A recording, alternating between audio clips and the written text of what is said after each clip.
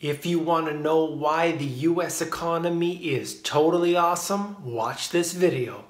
Now that the Fed has decided to ensure that the stock market receives enough liquidity and the government will backstop any major corporate failure, we can look to the eternal sunshine and lay down our hard earned dollars while they rapidly grow. Nothing could go wrong anymore because the Fed will be there to ensure that the markets stay afloat. Bailouts will rescue corporations, and stocks always rise. It's a no brainer. You came here for the truth, so let me unveil that for you. We're going to get into the real truth today. I've done 2100 videos previous to this, and this video is the only truthful one. So let's begin by taking a look at the stock market. The S&P 500 is up. If I take it over the past five years, it's up. If I look at it on the max all the way back to January 1st, 1950, the stock market is up. And if I get my highlighter out here and I draw this, it's showing me that it's a line upward and therefore stocks will rise. Do you understand that? Obviously, if you don't have seven shares of Amazon, then you don't understand it. What we have to look at is over the five year, over the past, you can see see that these stocks have risen. So if you take the current price times it by seven, you reach infinity, okay? Infinity, that's how much money you will have if you buy that stock, all right? It's pretty obvious when you look at it because you can't lose. Now, when I see the unemployment rate, I see nothing but fantastic results. Everything they have done has created an economic boom that cannot be surpassed by anyone at any any point in history. The unemployment rate is 4%, and it is totally legitimate at this level. I mean, 4% is real, and you don't want to look into any further details of it. Having it at 4% is fantastic. Just don't look into it further. Understand that the data is always truthful. And we know everything's okay when you see the total non farm payroll employment increasing by over 300,000 people in a single month. You know everything is awesome. That couldn't have happened before. It could only happen now. And of course, don't look into what happened after the revisions took place. You want to just take it with the initial numbers that came out showing us 300,000. Don't look into the, all the other details. Don't do that. Don't do that because you're going to get disappointed and we don't want that. We want to maintain everything is awesome as a slogan.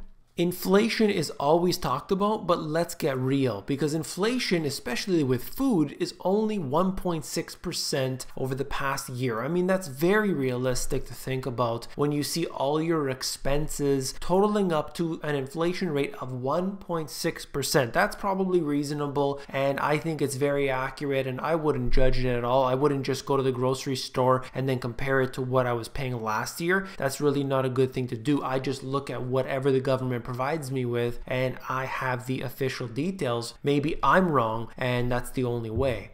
When you see the interest rates that are provided by the Federal Reserve, we are seeing historically low rates. Historically low rates equal money in my pocket. That's the way it works. You got to know that. That when the Federal Reserve gives you money, you take it. Just give your hand out and they will put some cash inside.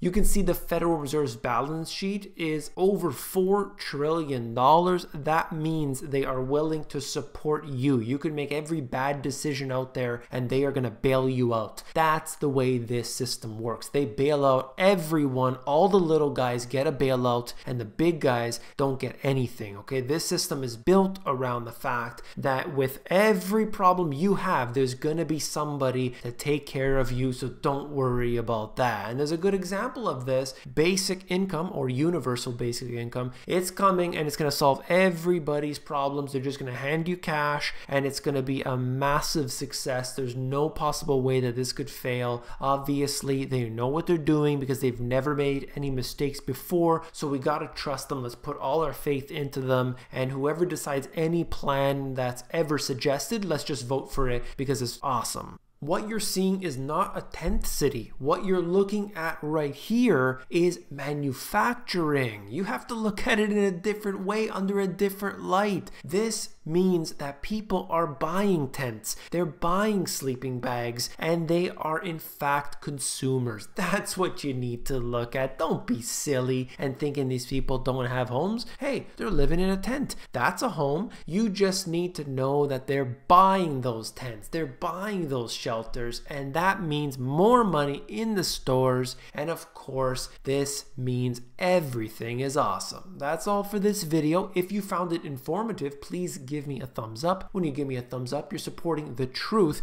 That's always what I talk about here. But if you're tired of this absolutely sarcastic video and you actually want to know what's happening today, you need to check out my two books. They are in the description of the video. I talk about everything and how the financial system is built on a pile of lies. I talk about how unemployment is not what they say it is. Inflation is not what they say it is. I talk about all the statistics, I break it down, I make it so easy to understand, and you can find out the details at the link in the description. If you want the audiobook version, you can get that at themoneygps.com.